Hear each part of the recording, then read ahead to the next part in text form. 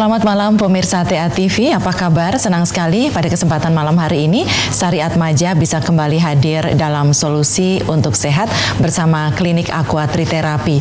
Dan seperti biasa di awal acara kita sudah bersama menyaksikan tayangan panjang lebar Bapak Juanda sudah menjelaskan seperti apa pengobatan di Klinik Aqua Triterapi dan memang ini khusus untuk mengobati keluhan-keluhan dan solusi bagi ibu yang uh, gagal hamil, saraf mata, otak dan juga uh, gerak akibat terkena torh ya. Saya sudah bersama dengan Bapak Endang Ruslana dari Klinik Aqua Triterapi dan silakan nanti pemirsa bisa bergabung di acara ini dan bertanya kepada Bapak Endang melalui 02718575555. Selamat malam dulu nih Pak Endang. Selamat malam. Hmm, selamat datang di Kota Solo. Ya.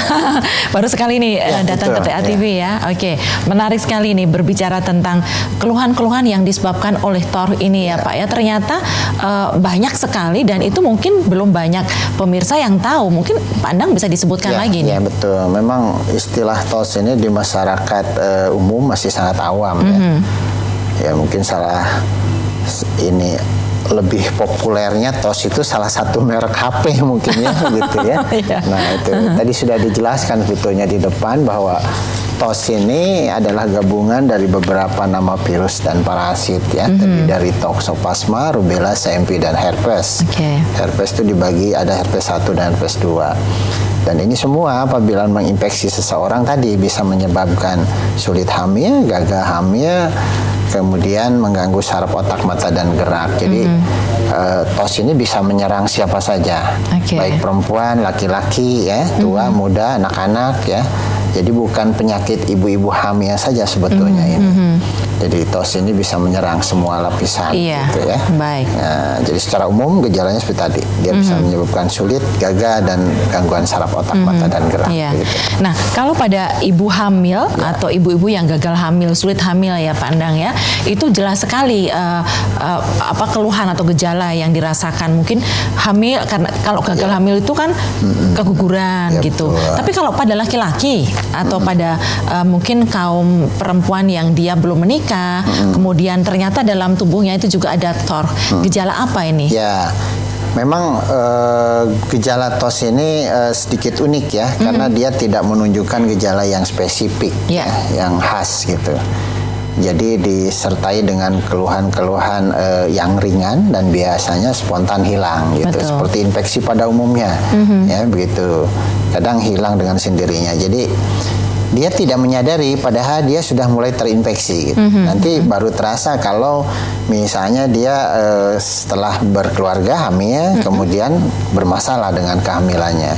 Baik itu bisa gugur ya atau hamil anggur ya atau hamil di luar kandungan berbagai macam kasus atau dia bisa melahirkan tapi dengan membawa kelainan gitu pada bayinya baik itu cacat fisik maupun non fisik mm-hmm. kalau cacat fisik itu ketika lahir bisa kelihatan mm-hmm. ya akibat infeksi tos ini memang yeah. sangat mengerikan begitu bisa hidrospalus pembesaran kepala atau mm-hmm. mikrospalus pengecilan dan sebagainya nah yang eh, uh, non fisik ini biasanya dia muncul pada tumbuh kembang si anak tadi. Oke. Okay. Itu. Jadi mestinya empat bulan sudah bisa merangkak ya, mm -hmm. menyanggah kepala satu tahun bisa berjalan, berbicara kok dalam perkembangannya terganggu, baik itu saraf motoriknya ya berupa saraf geraknya dan sebagainya okay. begitu. Mm-hmm. Jadi memang e, sangat berbahaya ini bagi ibu yang sedang hamil atau ingin memprogramkan kehamilan yeah. sebaiknya di dicegah dulu sedini mungkin mm-hmm, gitu sedia mm-hmm. payung sebelum hujan ya, ya betul gitu jadi banyak sekarang alhamdulillah karena informasinya memang sudah sampai ke masyarakat mm-hmm. ini uh, yang memeriksakan uji tos ini pranikah. Nah, sekarang hmm, sudah mulai banyak. Disarankan itu. seperti itu ya. Ya. Okay. Jadi ini untuk calon suami dan calon istri dua-duanya Ya betul. Ya, Jadi ya, itu untuk kasus-kasus yang gagal ya seperti ya. tadi. Kemudian bisa juga sulit hamil ya. Mm -hmm. Nah yang sulit ini memang harus lebih diteliti dua-duanya yang sulit hamil ini apakah bisa dari suaminya mm -hmm. karena tos mm -hmm. tadi dia bisa menyerang yeah. juga laki-laki atau dari istrinya ya. atau bisa dari dua-duanya gitu. Hmm. Jadi yang yang kasus-kasus sulit hamil ini apabila satu tahun, dua tahun ya, tiga tahun bahkan belasan puluhan tahun yeah belum kunjung hamil kan mm -hmm. itu harus sudah tanda tanya besar harusnya. Okay. Ada apa begitu? Yeah. Nah ini harus lebih diteliti dua-duanya mm -hmm. karena tos juga bisa menyerang alat reproduksi yang untuk laki-laki berupa kerusakan sperma dan sebagainya begitu. Oh gitu. Ya, ya baik. Jadi ternyata memang sangat uh, uh, kompleks sekali akibat atau apa ya gejala yang ditimbulkan atau penyakit yang ditimbulkan karena tos ini. Nah sekarang pemirsa silahkan anda bergabung di sini. Saya mengundang anda untuk bergabung melalui telepon di 857555. Untuk Anda yang berada di luar kota Solo bisa menambahkan kode area di 0271 ya, 857555. Bagi untuk yang ingin program keturunan atau yang mungkin sering keguguran dan uh, lemah kandungan begitu ya istilahnya bisa langsung berkonsultasi di sini nanti akan dijawab oleh Pak Andang. Jadi Pak, ini kalau uh, pada laki-laki tadi ya bisa terkena tor, apakah kualitas sperma yang nggak bagus hmm. seperti itu disebabkan juga karena ya, apa? Ya, bisa disebabkan oleh infeksi tos. Dia bisa mengganggu kuantitas maupun kualitas spermanya, gitu ya. -hmm. Misalnya eh, kuantitasnya harusnya yang normal itu 2 sampai 5 cc satu kali semprotan yeah. misalnya kok ini sedikit yeah. atau dia cenderung encer gitu hmm. gitu ya. Baik, sudah ada telepon. Kita sapa dulu penelpon selamat malam dari Sukoharjo dengan siapa? Ibu Intan. Halo? Halo. Iya, bisa lebih keras sedikit Ibu suaranya? Uh, ya, halo. Ya, dari Sukoharjo, silahkan. Mau tanya sama Bapak Endang ya? Ya, ya silahkan, silahkan monggo. Silahkan. Uh, begini, ini kan anak saya kan difonis sama dokter kena CMV ya Bu ya. CMV hmm, betul. Ya.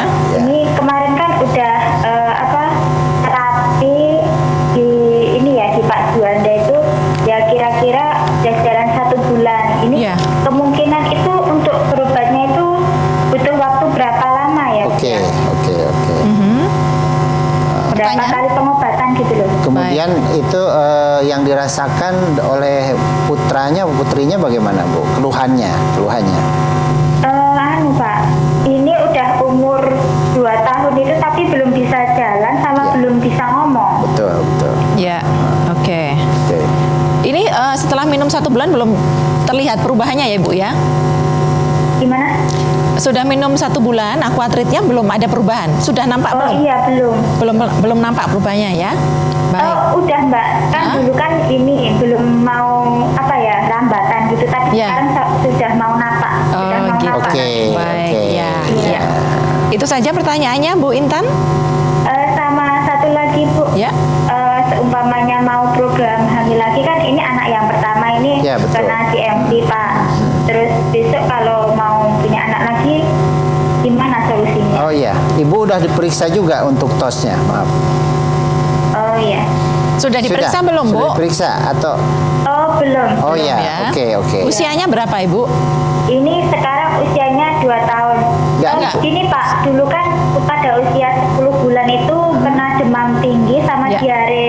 Ya. Terus masuk ya. rumah sakit. Betul. Tiga minggu, Ibu sendiri saat ini usianya berapa, Bu? Saya usia 20 eh, lima. Masih Baik, muda. ya masih muda. Bisa ditutup dulu teleponnya Ibu. Ya. Nanti akan dijawab Pak Ya. Andang. Terima kasih selamat malam Ibu Intan di Sukoharjo. Silahkan Ya, buat Andang. Ibu Intan ini mungkin eh, pasien kita yang Ya. sudah berjalan pengobatan satu, Iya, satu- bulan. satu bulan. gitu ya. Dan secara fisik tadi eh, saya dengar sudah mulai ada Ada perubahan. gitu ya. Jadi memang yang namanya herba ini insya Allah tidak ada efek samping dan eh, ibu harus Telaten sedikit gitu ya. bersabar ya karena tidak Butuh waktu. tidak seperti minum paramek pusing seperempat jam hilang begitu Mhm. ya. Nah kita punya punya metode pengobatan ini khususnya buat yang memprogramkan kehamilan ini kan minimal tiga bulan maksimal enam bulan. Ya. Tapi untuk yang sudah terlanjur menyerang saraf seperti ini karena CMP-nya tinggi seperti anak ibu tadi, memang kita tidak mematok enam bulan selesai dan sembuh tidak. Itu nanti lebih dilihat ke perkembangan anaknya itu sendiri. Oh gitu. Gitu. Mm-hmm. Dan itu juga nanti bisa dibuktikan dengan uji laboratorium. Betul. Ya, karena pengobatan kita itu memang spesialis untuk uh, pengobatan toxorubilla SMP dan herpes mm-hmm. tadi mm-hmm. ya. Ketika ibu datang membawa uji laboratorium, katanya tadi SMP-nya uh, positif mm-hmm. ya dengan angka konsentrasi berapa, yeah. nanti perubahan fisiknya ada, mm. pemeriksaan lab, insya Allah itu pasti turun, ya, karena perubahan fisiknya ada membaik. Okay. Gitu. Jadi untuk ibu di kasus-kasus seperti ini ada juga yang tujuh bulan, nanti ada yang enam bulan, ya, mm -hmm. jadi gitu. Untuk ibu bersabar, ya, terus lakukan pengobatan dan uh, lihat perkembangan fisik anak ibu ya, ya lebih dipantau mm -hmm. Nah kemudian memang betul untuk memprogramkan kehamilan selanjutnya ini jangan sampai terulang kembali. Ya. Ya, jadi nanti mudah-mudahan adiknya ini mm -hmm. lahir sehat sempurna begitu Amin. ya. Harus tuntas dulu tosnya mm -hmm. dan kemungkinan besar ini terinfeksi dari ibu. Oke. Okay. Ya, karena anaknya memang masih berapa 10 bulan tadi sudah ada gejala kan iya, begitu ya. Udah kejang. Nah, itu jelas sekali bisa ditularkan dari ibu yang sedang mengandung lewat plasenta atau hari-hari dia disuplai makanan kan. Mm-hmm. Dari ibu yang terinfeksi jelas seperti itu mm-hmm. pengaruhnya terhadap uh, bayinya. Mm-hmm. Nah, untuk ibu itu memang harus dituntaskan dulu. Yeah. Ya, meskipun memang belum ada uji lab, saya yakin ibu juga positif. Mm-hmm. Begitu. Tapi okay. untuk pembuktian silahkan nanti uji lab. Oke, okay. ya. iya baik, baik demikian untuk Ibu Intan dan yang jelas uh, nanti Ibu bisa lebih lanjut untuk mengikuti seminarnya. Kapan seminarnya? Kami akan hadirkan saat lagi. Tetaplah bersama TA TV.